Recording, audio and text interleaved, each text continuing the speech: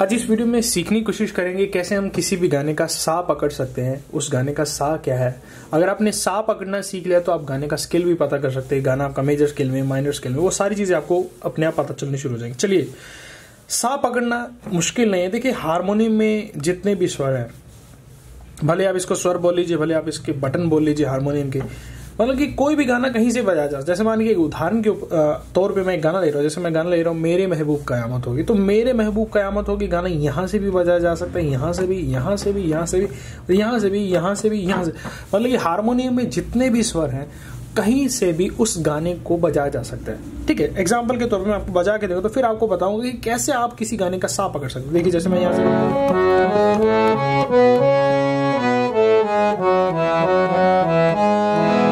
यहाँ से बज भी पहली काली से बजाता हूँ।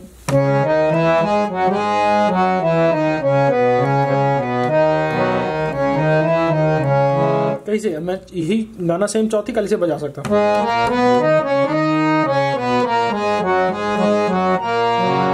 मैं इस ये बजाने का मेरा ये मकसद है मैं आपको इसलिए बजा के दिखा रहा हूँ कि, कि हारमोनियम पे कोई भी गाना कहीं से भी बजा सकता है। लेकिन हम लोग कैसे पहचानेंगे कि मेरे को गाने का सा कैसे मिलेगा?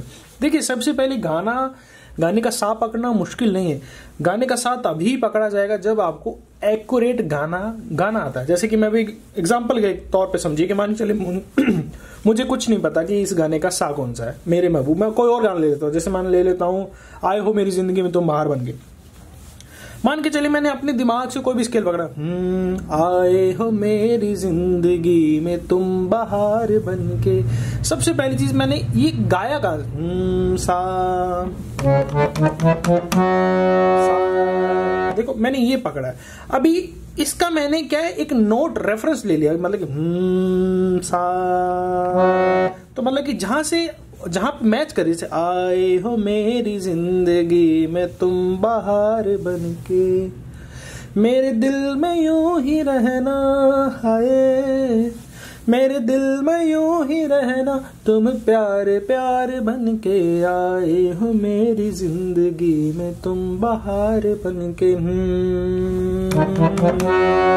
यहाँ पे मैच करें। तो मतलब कि ये कहीं ना कहीं मेरे गाने का जो सा ही है ये सा तब पकड़ में आएगा जब आपको गाना प्रॉपर एक्यूरेट गाना आता है। अभी इसी तरीके से एक और गाना गा सकते हैं। हम्म, सा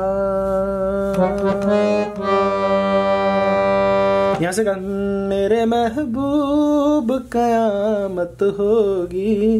मतलब कि क्या है? अगर आपको गाना अच्छे से याद है तभी आप साफ़ पकड़ पाओगे ना, जब आपको गाना ही टेढ़ा मेढ़ा पता आपको पता ही नहीं एक्यूरेट नोट क्या है, सही नोट गाने कैसे सही पकड़, गाने कैसे जब तक सही गाना नहीं, गाना आएगा, तब तक हारमोनियम पे सही गाना निकलेगा नहीं। मेन इसका सोल्यूशन ये निकल करता है कि जब तक आपको प्रॉपर भले हम एक अच्छा मैं एक अच्छा सिंगर नहीं हूँ, मैं मानता हूँ, लेकिन मैं फिर भी उसका, अगर सिंगर ने 100 परसेंट अच्छा गाया, जैसे मान चलिए लता जी ने कोई गाना गाया, एक प्यार का नगमा है और लता जी ने पूरा एफर्ट लगाया उसके ऊपर उस गाने को अच्छा बनाने के लिए। हालाँकि मैं उनके बराबर दस परसेंट भी नहीं गा सकता, लेकिन मैं उनके जैसा पकड़ तो सकता हूँ कि वो क्या क्या नोट्स लगा रहे जैसे कि हमने यही चीज़ पहली गा प्यार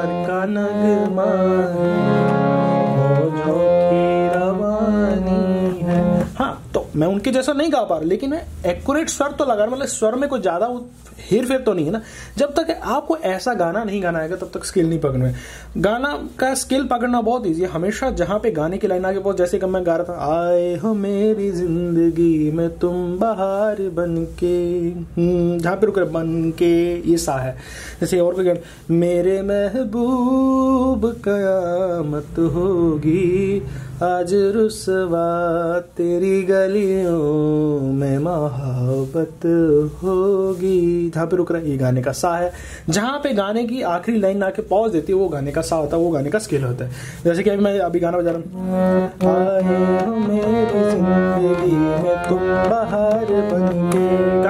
आ, ये देखो यहाँ से शुरू आए हो मेरी ज़िंदगी में तुम कहाँ पे हो रहा है? यहाँ पे रुक रहा है। जहाँ पे रुक रहा है तो ये सेम ऐसी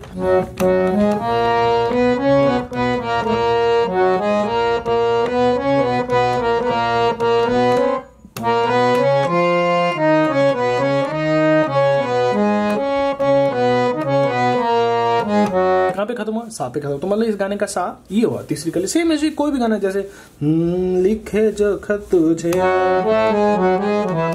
पे खत्म हुआ सा पे खत्म हुआ। जिस स्वर के ऊपर लाइन रुकती है जैसे पहला पहरा है जो जो पहला पहरे की जो पहली मेन लाइन है। मेन लाइन ऐसा नहीं एक प्यार ये पूरी लाइन एक एक प्यार का नगमा है मौजों की रवानी है ज़िंदगी और कुछ भी नहीं तेरी मेरी कहानी है। यहाँ पे रुक रहा है पॉज है। वो गाने का सा है सेम ऐसे हम्म, मेरे रश के कमर तूने पहनी नज़र जब नज़र से मिलाई मज़ा आ गया। जहाँ पे मज़ा आ गया, वो सा है आपका। इस तरीके से आपको अगर ये चीज़ें गाने गाने आते हैं गुनगुनाने आते सही तरीके से तो आपके लिए कोई भी गाना पकड़ना मुश्किल। गाना एक्चुअल में कहीं से भी बजा जाएगा आप इस गाने, इस स्वर से भी गाना बजा सकते, इस गाने से भी बजा सकते वो आपको डिसाइड करना है कि मेरे को कहाँ से बजाना है। ठीक है, कोई भी नोट सा बन सकता है, कोई भी नोट रे बन सकता है, कोई भी नोट गा बन सकता है। अगर मान चलिए मैं इस नोट को सा माना तो इसके अकॉर्डिंग ये सा हो तो ये रे हो जाएगा गा, मा, पा, धा, नी, सा।